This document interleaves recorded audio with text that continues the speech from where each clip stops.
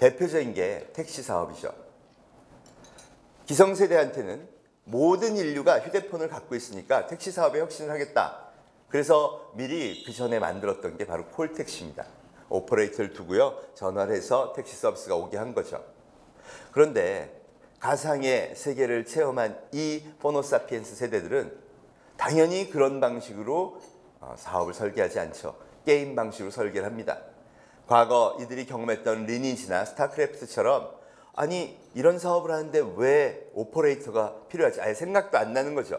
서버를 하나 두고요. 수십만의 고객이 몰려들어서 거기서 서로 만나고 서로 필요한 건 pay하고 대결도 하던 것처럼 나 여기 힐튼 호텔에서 시청까지 택시로 갈래 라고 데이터를 올리면 어 그건 내가 데려다 줄 수 있어 한 사람을 매치시키고 그 사이에서 서로 pay하게 하는 방식으로 게임과 동일한 방식으로 비즈니스를 설계한 겁니다.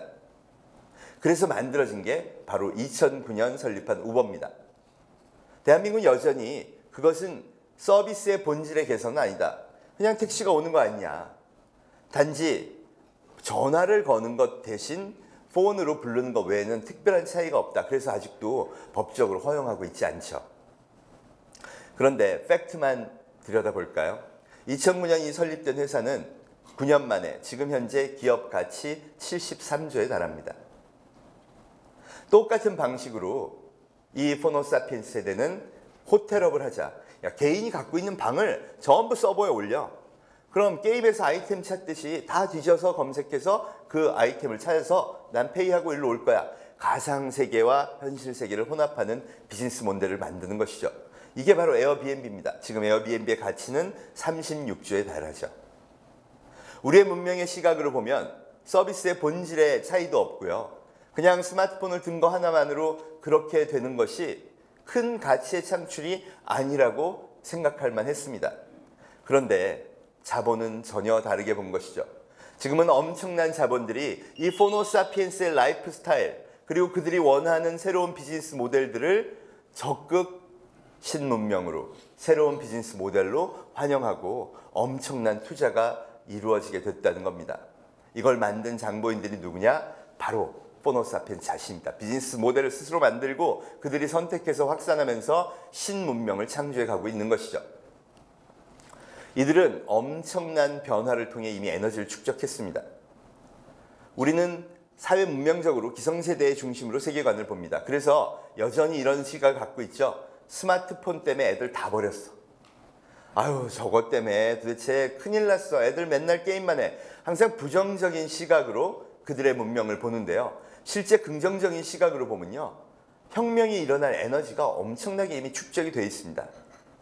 대한민국 사회에서 대학을 가기 위해서 보는 수능 시험이 어쩌면 인생의 가장 중요한 시험이라고 할 수 있겠죠. 만약 수능 시험을요. 보게 되는데 한쪽 편에서 스마트폰 검색을 이용해서 답을 찾을 수 있게 해준다면요. 전혀 다른 결과가 나올 겁니다. 그런데 과연 인류가 앞으로 스마트폰을 떼고 검색도 떼고 그렇게 살아야 될 이유가 있을까요? 그걸 제한해야 할 필요가 있을까요? 이제 그럴 필요는 없어졌습니다.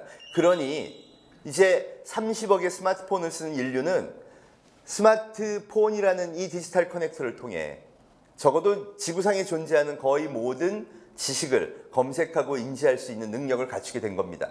여러분 호모사피엔스 7만 년의 역사 중에 불과 대중화 7년 만에 이런 지적 수준의 집단적 성장을 이룬 적은 이게 처음입니다. 이 응축된 에너지를 한번 생각해 보시죠. 또 하나는 전파의 속도입니다. 인류가 번성하게 된 가장 큰 원인은요. 자기가 갖고 있는 지식을 확산시켜서 이걸 통해 사회 구성원 전체가 그걸 공유하고 새로운 문명을 만들어냈기 때문이라고 알려져 있습니다. 이 확산의 속도가 이제는 과거와는 비할 수가 없게 되어버렸습니다. 통신의 발달, 스마트폰의 보유로 인해서 어떤 현상이 하나 벌어지면 20억 인구가 알기까지 채 하루가 안 걸리는 시대가 되었다는 거죠. 이 정도의 문화복제 시스템을 가졌다면요. 그게 변화하고 진화하고 또 다른 형태로 바뀌는 이 속도가 과거 우리가 상상했던 그 시대와는 전혀 다를 거라고 이미 예측을 할 수가 있죠.